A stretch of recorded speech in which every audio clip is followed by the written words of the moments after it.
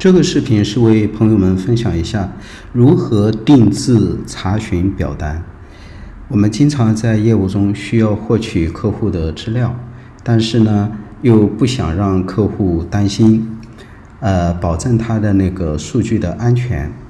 另外还有，如果是表单提交的话呢，还要考虑到电子邮箱不要进垃圾桶，不要丢失这个信息的安全问题。呃，还有很多公司企业，他们还希望有更多个性化的需求，比如说，他还想客户是不是说希望通过 WhatsApp 来进行联系，或者说他还想知道对方的手机号码、电子邮箱，或者是呃那个微信号码。那这种方式呢，我们在网站的表单提交中呢，就可以个性化的定制。并且呢，有的时候你还需要对方通过网上来提交自己的图片，或者是身份证信息，或者是护照的拍照的扫描件。那像这样的情况，应该怎样来定制表单，并且在你的产品上附加上去呢？现在呢，我们就通过一个 China Memory Trip 这样一个页面呢，给大家展示一下。比如说。这是一个表单的提交，先是告诉对方，呃，需要填上自己的姓名。那在性别的选择上，可以称呼自己是先生、女士，啊，比如说我现在呢是提交我的名字，哈，胜利，哈。然后呢，nationality 是可选可不选。那么电子邮件的话呢，它是必须的。那我现在呢就选择一个吧，因为他要提交表单的话，至少要知道对方的一个联系方式。另外呢，这个手机号码也是可选不可选的，所以您会看到在提交表单上有红色的星号是必选的，如果其他的没有这个星号的话呢，就是可选项。那如果说呢？呃，你想知道对方来的游客是一个、两个或者是几位，并且是多大年龄的，你也可以来进行提问。比如说，他有孩子和他一起旅行吗？如果说是婴儿的话，他是婴儿是多大岁数？是几个婴儿呢？另外，他预计的到达时间是几月几号呢？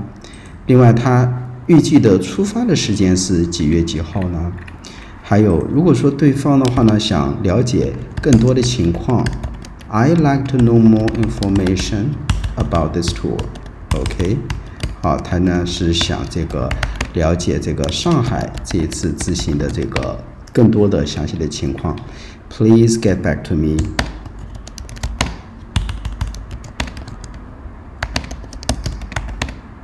quickly。 好，那他写过留言之后的话呢，另外呢，这个表单提交呢还有一个呃附件上传的功能，比如说他点击自己的一个附件，他拍好的照片，它格式呢可以是图片，也可以是文本、Word 文档、PDF 或者是扫描件，呃，甚至一个小视频都可以。但是呢，这里的话往往是需要一个固定的一个呃，就是说上传的尺寸的大小。一般来说呢，网站呢。它提供嗯相应的服务器的，所以我们这边设置的是六十四兆，应该说是足够大了。最后呢是提交它的查询，submit inquiry。在提交过后的话呢，您会看到它会有一个留言，谢谢您跟我们联系，我们工作人员呢会尽快跟你联系的，并且呢还预留这家公司的联系方式。这样在用户提交过表单之后的话呢，他就会知道自己的信息呢都已经提交了。现在你或许会问，那我这样的表单提交过后，应该怎样来去查询这个表单呢？那这里的话呢，就给呃这个大家再演示一下如何查询这个表单。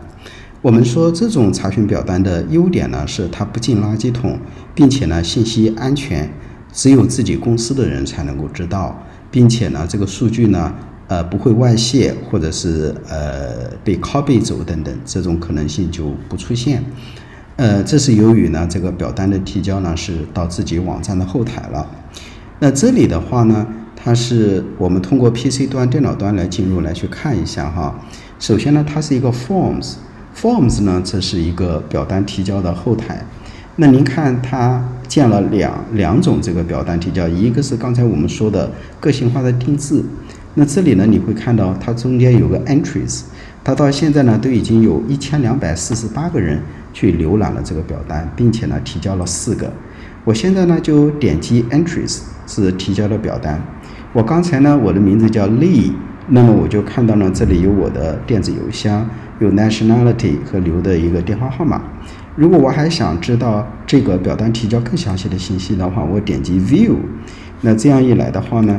就会刚才我提交的表单呢，就已经跑到这个网站的后台了，并且呢，它还有一个附件，这个附件呢是 File Upload 是在这个地方，所以呢，呃，在这个啊这个收到对方的联系方式，包括电话啊，或者是 WhatsApp 或者 Skype 等等，那您可以跟对方呢取得联系，这个呢就是一个表单的提交功能。那这种表单提交功能呢，节省了这个呃这个很多问题，特别呢就是说，呃查询的 email 的话丢失，或者是对方 email 发了那个大的附件，他认为是发出去了，但其实呢并没有送达对方，所以这种 email 的传输的话呢，它也有个不安全性，因为它是经过第三方的这个 email 的这个中转。但是这种表单查询呢，相应来说就安全很多。好，大家知道这个表单查询功能之后呢，现在我们就来看一下如何在自己的产品页面上设置这样的表单查询呢？比如说，我现在有一个呃这个呃 Ten Day China Classic Tour Hong Kong、北京、西安、上海等等啊，我任意呢就挑选一个产品，那我打开这个产品之后的话呢。就作为一个 editor，对于这个旅行产品呢，作为一个啊那个编辑，那你打开过后编辑呢，特别要注意你的右手侧的菜单。你右手侧的菜单呢，就是说呃你添加查询项的，就是刚才那个查询表单的一个地方。那一直往下拉，在你往下拉过后的话呢，它有一个 tool setting 啊 tool setting。也就是说，你的这个行程，这个啊，您的这次旅行的这个 setting 啊设置了哈。那您这个设置当中的话呢，它这个你点击一下哈，tour settings，点击过后的话呢，在右手侧呢，它有一个这个呃 reservation bar，也就是说你的预定的这个导航预定的这个栏目啊 bar。那预定栏目点击开之后的话，它有一个这个 Only Booking 和 Only Inquiry Form，还有一个 Custom Code。刚才呢，我们做的是一个定制的这一种这个代码啊，这个代码是在哪里呢？一般来说呢，我们是做好的。现在呢，我就把那个代码呢，就是给大家吧啊。这个代码的话呢，它是呃。通过这种方式，好，这里已经做好了的代码。一般来说，代码呢是需要这个放在这个 txt 的格式里面，它不会去改变它哈。那这里的话，我复制过后再粘贴代码。代码过后呢，这个 custom title，你这个呢可以说是给它写一半，就是说呃定制。查询，或者我说一个 custom tour inquiry 啊，定制的一个旅行的一个查询。好，在你代码嵌入过后，呃，注意呢要进行保存。呃，滚轴呢鼠标往上拉，然后呢点击更新。这样一来的话呢，你的这个表单呢就生成了。表单生成过后，我们再来看一下这个产品页面吧。我查看文章，这个查看的这个表单过后呢，你就会看到它有个 Custom Tour Inquiry，是量身定制的旅行计划查询。那这里呢，你就看到这样一个表单了。那这个表单的话呢，对方呢可以输入自己的这个联系方式，比如说我输入好了。如果这个 WhatsApp 它不输也是可以的，如果输呢也是行的，呃，这是根据你的需求。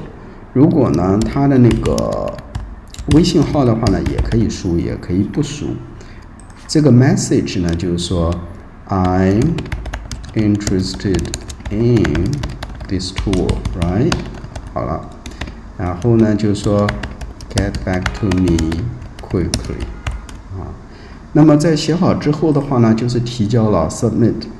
那么他对方提交过后，用户提交过后，他自然有一个呃反应了哈，就是告诉对方我这个 Thanks for inquiry，we shall contact you soon 啊，我们会尽快跟你联系的。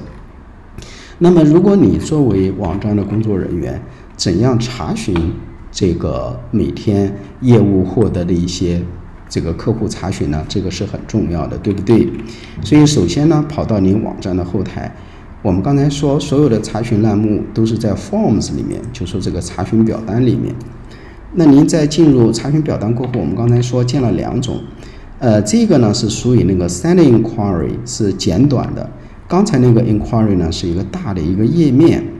那这里的话呢，你看到它这个 Entry 有三，到目前为止已经有两千七百多次的这个观看这个表单的这个这个浏览的这个用户了哈。